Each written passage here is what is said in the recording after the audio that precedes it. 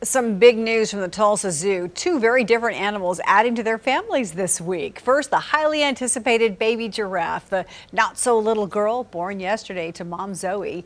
The zookeepers tell us she's showing all signs of perfect health, even standing just 30 minutes after she was born. We're told that mom Zoe is a natural mother and very attentive to her very first bundle of joy. And across the way, they're also welcoming new life in the cold building with the hatching of two snowy owl chicks. Mom Ophelia is keeping them snug and warm in the nest, while dad Lumi stands guard and brings mice back to the nest for mama and babies. Zookeepers say everyone is doing exceptionally well.